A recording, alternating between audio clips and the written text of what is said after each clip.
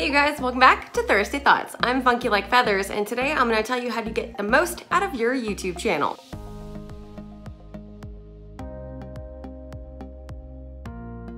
All right, so there are some things that YouTubers do that drives me nuts.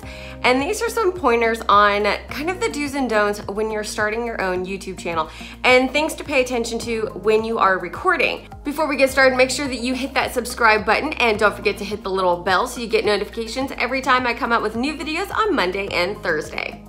So one of the first things is obviously don't wear glasses that are like sunglasses where people can't see your eyeballs and especially don't wear anything like mirrored sunglasses you can see that light in the background. It's very, very distracting to have someone wearing sunglasses or any kind of mirrored glasses where you can see everything that's going on behind the camera. It makes the person pay attention to all of that stuff and not really what it is you're talking about or what's going on in your video. The second big pointer is to stop with all the hands.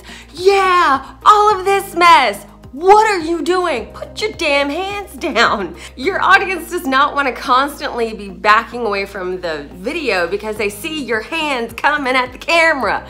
It absolutely drives me insane. I have seen this on so many different people's channels and it's extremely distracting. All of this information is just way too much put your damn hands down so that people can focus on what you're actually talking about and what you're actually trying to show them. If your hands are coming at the camera, it's actually kind of offensive to the person on the other side. Even if I was in a like in-person conversation with somebody and they kept doing this little number towards my face, I would finally start backing up or be like, could you please put your hands in your pockets? It just, it, it makes the person kind of jump back. Next on the list is to kind of condense down your information. A lot of times people will do these chatty videos, which I totally get, I respect it. It's, you know, a nice laid back, one-sided conversation, but at the same time, you don't wanna go off for too long. And you kind of need to make sure that if you don't have editing software, that you get some kind of editing software, and that way you can kind of keep yourself on track, or at least kind of have some bullet points that you're gonna be covering so that you make sure that you hit those things instead of just going off on random tangents because I'm all for a chatty video, but if you're gonna be talking for 30 to 45 minutes, I got other things to do.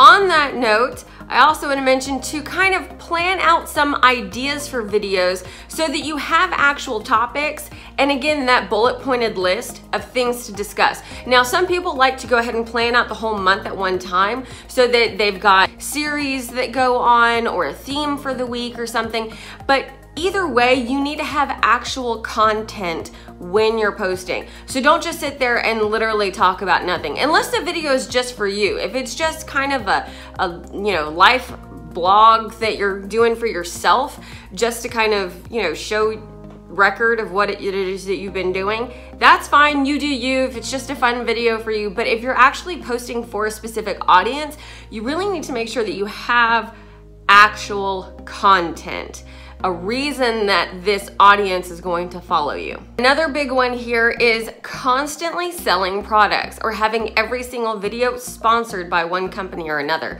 I have mentioned several different products and items on this channel over time, but I'm not sponsored by any of them. That way you're not pushing products on your audience because then you kind of just become ongoing commercials as opposed to a content channel that has actual information. It's one thing when you do like compare and contrast kinds of videos and you can show the benefits or cons of having a certain item. And like I said, I've talked about a lot of different items and products here, but I'm not pushing any of them. You're not gonna see coupon codes. I'm not sponsored. It really gets distracting and people will stop following you if you just become an infomercial. Last but not least, this is kind of a little thing, is looking at yourself when you're recording and constantly fidgeting with your hair. It looks lovely. So the camera on a phone is actually over to the side up by where you listen to the, to the actual conversation. That's where the camera is, y'all. The screen is in the middle of the phone. And this happens for cameras too. There's usually a little flip screen so you can see yourself. And then there's the lens. Now we all have to kind of check ourselves in the screen every now and then to make sure we're still in screen because it'd be kind of awkward if I was talking from over here. So make sure that you're kind of in the screen. Check on yourself every now and then. But when someone's just talking to themselves or constantly fidgeting with their hair, this, this little number, this constant during the whole conversation, very distracting. Leave your hair alone. It's fine. Seriously. Check it before, spray it in place. I don't care, but leave your damn hair alone.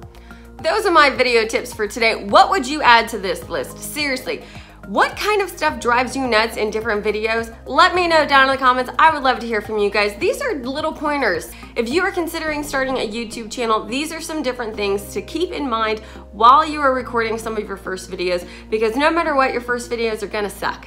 It's gonna be fine. Seriously, they're gonna suck. You can go back to some of mine even.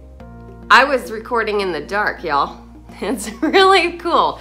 It looks hilarious, but it's funny. But at least I recorded the videos. The content is there and it gives you kind of some practice so you know what you do and don't like in your videos, how to get better at it. Let me know what it is that you guys put into your videos. Do you have a channel? Let me know down in the comments. I want to hear from y'all and I will see you again on Mean Mugging Monday. Have a great weekend, you guys.